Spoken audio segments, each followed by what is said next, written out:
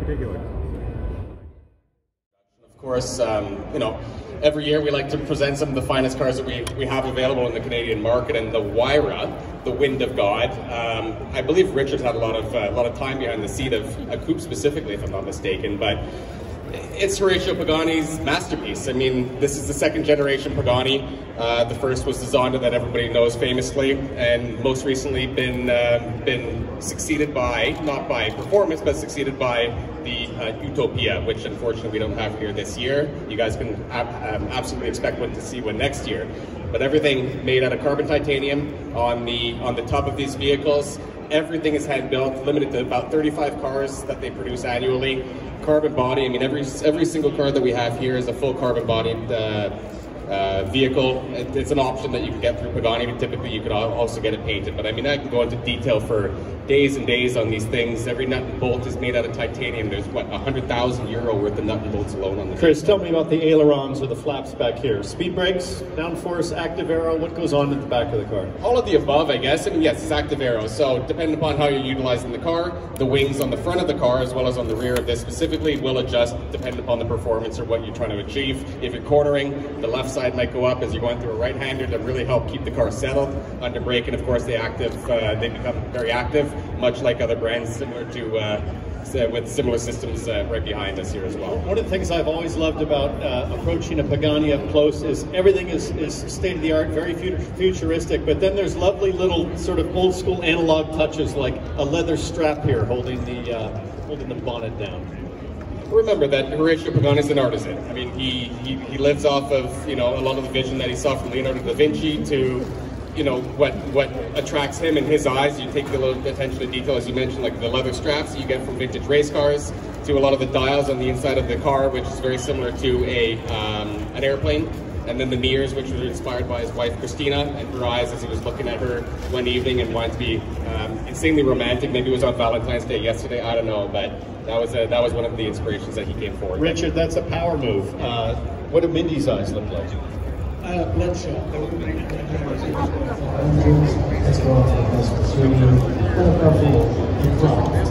It is crafted in this market. I think that right now is important at time when we are seeing this division of this communalisation out of humanitarian aspects of transport that are necessary and be decarbonisation of transport infrastructure.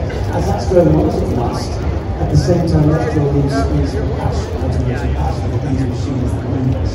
And it's seldom expressed better than it is by cars like that you see here, because it's got a sense of humour and fun and joy.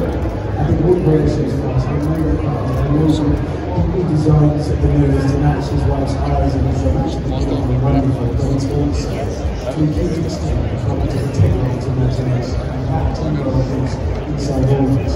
recently expressed. So I've always driving. And a little passionate. yes.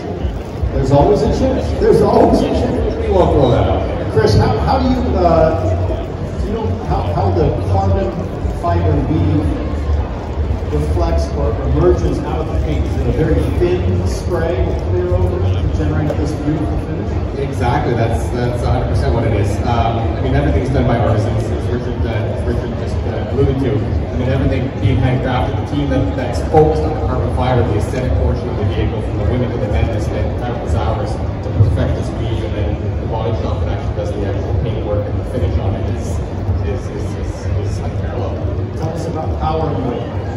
So this car is 1,500, it's just under 3,000 pounds. I'm trying remember what it is kilos uh, precisely. It is actually the lightest roadster ever produced, uh, lighter than the coupe, which is very rare.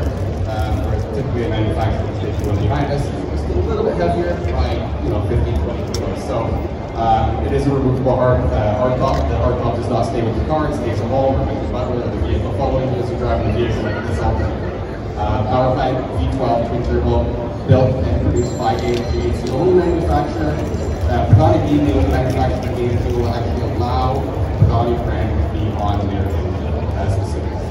What's the output of that? This this engine is 625 horsepower. Is a car that light? Yeah, for sure. Absolutely stunning. I live in Malibu, so not uncommon to see Paganis on Sunday morning ripping up the uh, ripping up the road. What a glorious sound they make! But the presentation of this is fantastic. That's spectacular. It's just a joyous. Tell us uh, what else do we have over here? This one looks even more wicked. This doesn't exactly look street legal, or is it? You're right. It, it is not. This is probably more in your wheelhouse. Uh, this is the Zonda R. It was the first race car produced by Pagani. Uh, this car dates back to 2012. It was the one and only Pagani Huayra, uh, sorry, Pagani Zonda R to come to the country. Since its uh, arrival in Canada, it's actually gone through a facelift, so we've done a little bit more of the Revo, the Revoluzione spec to it, so you can see a lot more cameras on the front end of the vehicle, a much more aggressive rear end of the car as well, um, suspension updates. Uh, this is a one-off, very bespoke variant of the wine, of the Zonda R called the Liquid for, for a customer that we have here in Toronto. But a track toy. It is solely track toy, yeah. So I've been fortunate to actually drive this car in uh, Fuji, not Fuji, Oh, really? as well as here in Osprey, yes. I just had, had my first experience there uh, a few weeks ago, actually, in Japan. And uh, suggested retail price. I think market value would be looking at north of six million dollars. Good. Yeah. Gracious. All right. Terrific. Well, we'll get to the McLaren stuff in just a bit, and uh, I just want to take any any questions from our uh, esteemed journalists here in the crowd while we have a couple of minutes. Anybody have a question for Richard or for Chris regarding Pagani? Awesome. We've answered all your questions. Well, we got one. Yes, sir. Uh, does he have a particular favorite? Hey Richard, do you have a favorite Pagani in particular? Um, I'd have to go with the Roadster because the, just the glamour, the fun, the comedy, the entertainment, the pantomime of it. I think if you're in a position to be able to own and drive such a thing, you're doing the world a favour by parading it about. I think it should be subsidised by the state, really, to do it. It's a public service driving that thing around for the benefit of everyone. I don't really think that. It's a privilege, absolutely. Well, Chris, thank you very much for sharing these with us, and thank you for bringing these to the auto show. I got to tell you, uh, like any young kid, these are the kinds of cars that were on, on my posters, you know, uh, back in the day. Gosh, or Testarossa today, it's a Pagani, and this show is special because of these kinds of vehicles, and I don't think I've ever seen in the four or five years of it coming here this amount of eye candy. Uh, it's a great job. So thanks for having us.